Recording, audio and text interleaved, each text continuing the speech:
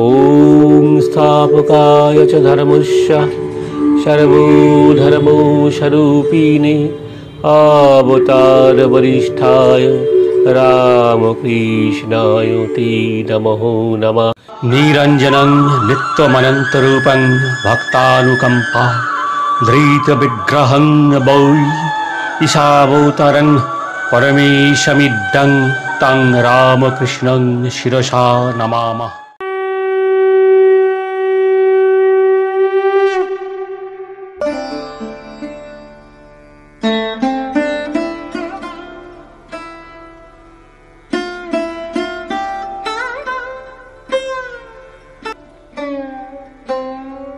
ষষ্ঠ পরিচ্ছেদ, সমাধি মন্দিরে ভক্তদের সম্বন্ধে মহাবাক্য।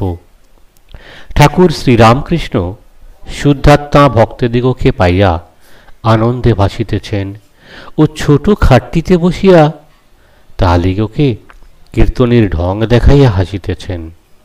কীর্তনী সেজে গুজে সম্প্রদায় সঙ্গে গান গাইতেছে। কীর্তনী দাঁড়াইয়া হাতে রঙিন রুমাল মাঝে মাঝে ঢং করিয়া কাশিতেছে ও নথ তুলিয়া থুতু ফেলিতেছে। আবার যদি কোনো বিশিষ্ট ব্যক্তি আসিয়া পরে গান গাইতে গাইতে তাহাকে অভ্যর্থনা করিতেছে ও বলিতেছে, আসুন। আবার মাঝে মাঝে হাতের কাপড় সরাইয়া তাবিজ, অনন্ত ও বাউটি ইত্যাদি অলঙ্কার দেখাইতেছে। অভিনয় দৃষ্টি ভক্তেরা সকলেই হো হো করিয়া হাসিতে লাগিলেন। পল্টু হাসিয়া গড়াগড়ি দিতেছেন ঠাকুর পল্টুর দিকে তাকাইয়া মাস্টারকে বলিতেছেন, ছেলে মানুষ কিনা তাই হেসে গড়াগড়ি দিচ্ছে।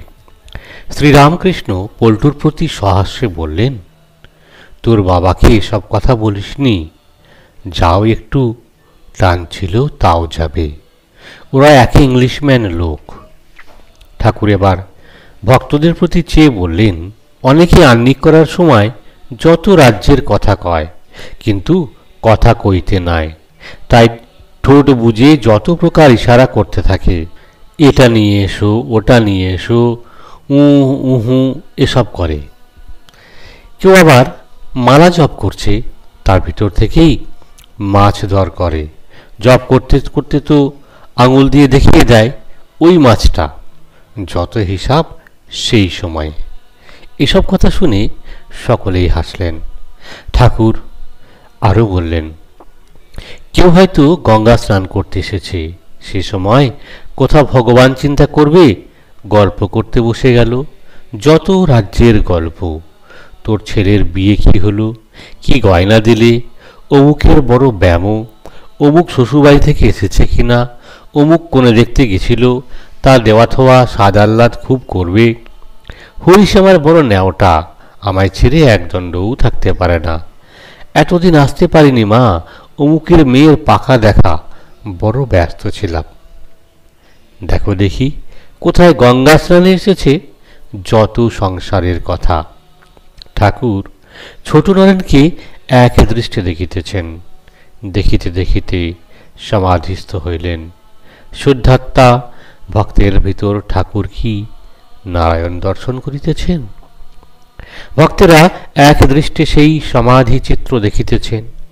এত হাসি খুশি হইতেছিল, এইবার সকলেই নিঃশব্দ, ঘরে যেন কোনো লোক নাই। ঠাকুরের শরীর নিষ্পন্দ, চক্ষু স্থির, হাত জোর করিয়া চিত্তার পিতার নেই বসিয়া আছেন। কিয়ৎপরে সমাধিভঙ্গ হইল। ঠাকুরের বায়ু স্থির হইয়া গিয়াছিল। এইবার দীর্ঘ নিঃশ্বাস ত্যাগ করিলেন। ক্রমে বহির্জগতে মন আসিতেছে। ভক্তদের দিকে দৃষ্টিপাত করিতেছেন। এখনও ভাবস্থ হইয়া রহিয়াছেন। এইবার প্রত্যেক ভক্তকে সম্বোধন করিয়া, কাহার কি হইবে ও কাহার কিরূপ অবস্থা? কিছু কিছু বলিতেছেন। ঠাকুর এবার ছোট নরেনের প্রতি চেয়ে বললেন, তোকে দেখবার জন্য ব্যাকুল হচ্ছিলাম। তোর হবে। আসিস এক একবার। আচ্ছা তুই কি ভালোবাসিস? জ্ঞান না ভক্তি? ছোট নরেন বললেন, শুধু ভক্তি। ঠাকুর শ্রীরামকৃষ্ণ বললেন, না জানলে ভক্তি কাকে করবি? ঠাকুর এবার মাস্টারকে দেখাইয়া সহাস্যে বললেন, একে যদি না জানিস, কেমন করে একে ভক্তি করবি? ঠাকুর মাস্টারের প্রতি চেয়ে বললেন, তবে শুদ্ধাত্মা যে কালে বলেছে, শুধু ভক্তি চায় এর অবশ্য মানে আছে। আপনা আপনি ভক্তি আসা সংস্কার না থাকলে হয় না। এইটি প্রেম ভক্তির লক্ষণ।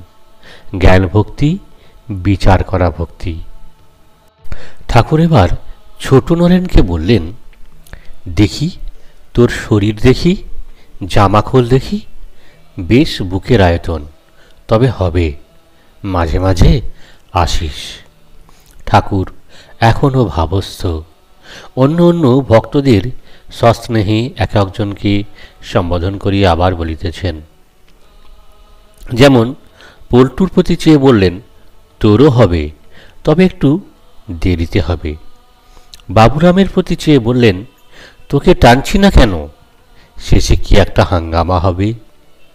এবার ঠাকুর মোহিনীমনের প্রতি চেয়ে বললেন, তুমি তো আছোই, একটু বাকি আছে, সেটুকু গেলে কর্মকাজ, সংসার কিছুই থাকে না। সব যাওয়া কি ভালো? এই বলিয়া তাহার দিকে এক দৃষ্টি সস্নেহে তাকাইয়া রহিলেন। যেন তাহার হৃদয়ের অন্তরতম প্রদেশের সমস্ত ভাব দেখিতেছেন। মোহিনীমোহন কি ভাবিতেছিলেন? ঈশ্বরের জন্য যা সব যাওয়াই ভালো। কিয়ৎপরে ঠাকুর আবার বলিতেছেন, ভাগবত পণ্ডিতকে একটি পাশ দিয়ে ঈশ্বর রেখে দেন, তা না হলে ভাগবত কে শোনাবে? রেখে দেন লোক শিক্ষার জন্য। মা সেই জন্যই সংসারে রেখেছেন। এইবার ব্রাহ্মণ যুবকটিকে সম্বোধন করিয়া বলিতেছেন, ঠাকুর? তুমি জ্ঞান চর্চা ছাড়ো, ভক্তি নাও ভক্তিই সার। আজ তোমার তোমার কি তিন দিন হলো? ব্রাহ্মণ যুবক হাত জোর করিয়া বললেন, আজ্ঞা হ্যাঁ। ঠাকুর বললেন, বিশ্বাস করো, নির্ভর করো। তাহলে নিজের কিছু করতে হবে না। মা কালী সব করবেন। জ্ঞান সদরমহল পর্যন্ত যেতে পারে। ভক্তি অন্দরমহলে যায়। শুদ্ধাত্মা নির্লিপ্ত। বিদ্যা অবিদ্যা তার ভিতর দুইই আছে। তিনি নির্লিপ্ত। বায়ুতে কখনো সুগন্ধ, কখনো দুর্গন্ধ পাওয়া যায়। কিন্তু বায়ু নির্লিপ্ত। ব্যাসদেব যমুনা পার হচ্ছিলেন। গোপীরাও সেখানে উপস্থিত। তারাও পারে যাবে। দধি, দুধ, ননি বিক্রি করতে যাচ্ছে। কিন্তু নৌকা ছিল না। কেমন করে পারে যাবেন? সকলে ভাবছেন। এমন সময়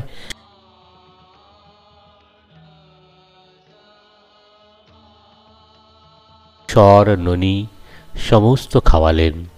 ব্যাসদেব প্রায় সমস্ত খেয়ে ফেললেন।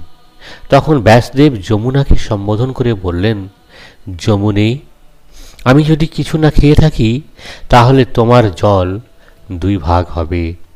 আর মাঝ রাস্তা দিয়ে আমরা চলে যাব। ঠিক তাই হলো, যমুনা দুই ভাগ হয়ে গেলেন।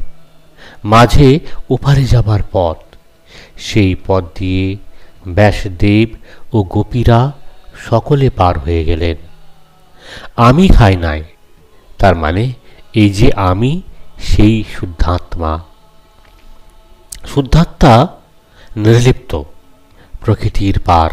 তার ক্ষুধা তৃষ্ণা নাই, জন্ম মৃত্যু নাই, অজর, অমর সুমেরুবৎ যার এই ব্রহ্ম জ্ঞান হয়েছে, সে জীবন মুক্ত সে ঠিক বুঝতে পারে যে আত্মা আলাদা আর দেহ আলাদা। ভগবানকে দর্শন করলে দেহাত্ম বুদ্ধি আর থাকে না। দুটি আলাদা, যেমন নারিকেলের জল শুকিয়ে গেলে শ্বাস আলাদা আর খুল আলাদা হয়ে যায়। আত্মাটি যেন দেহের ভিতর নড়নড় করে, তেমনি বিষয় বুদ্ধিরূপ জল শুকিয়ে গেলে আত্মজ্ঞান হয়। আত্মা আলাদা আর দেহ আলাদা বোধ হয়। কাঁচা সুপারি বা কাঁচা বাদামের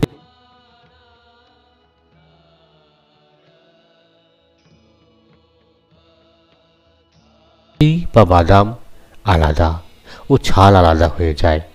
পাকা অবস্থায় রস শুকিয়ে যায়। ব্রহ্মজ্ঞান হলে বিষয় রস এভাবেই শুকিয়ে যায়। কিন্তু সে জ্ঞান বড় কঠিন, বললেই ব্রহ্মজ্ঞান হয় না। কেউ জ্ঞানের ভান করে? একজন বড় মিথ্যা কথা কইত, আবার এদিকে বলতো, আমার ব্রহ্ম জ্ঞান হয়েছে। কোনো লোক তাকে তিরস্কার করাতে সে বললে, কেন, জগৎ তো স্বপ্নবৎ, সবই